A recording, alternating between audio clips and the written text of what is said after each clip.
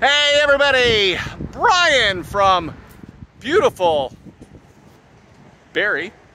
Um, we're set up downtown on the waterfront of Barrie uh, for Kempenfest this weekend. Got our booth set up there.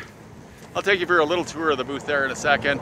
Uh, going to be a fantastic weekend. If you're not doing anything, head up to Barrie here. One of the largest festivals in the area.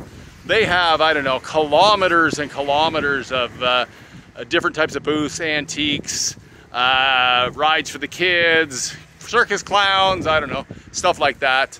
Um, and they have honey. Um, this is our booth here.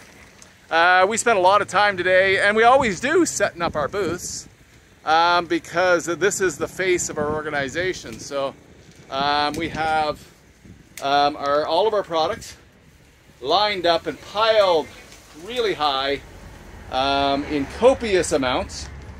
We do two separate uh, 10 by 10 tents and we mirror them. So we have the one set of products on this side, an observation hive is going here, and then we do the second set, which is an exact mirror image of that first set there on this side, so that we can serve multiple customers at the same time.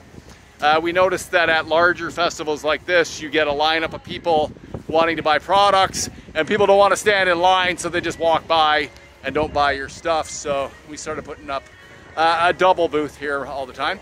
Anyways, I hope everybody's gonna have a great weekend. Like I said, if you're not doing anything, come up to uh, Barrie to Kempenfest this weekend. Come by and say hi.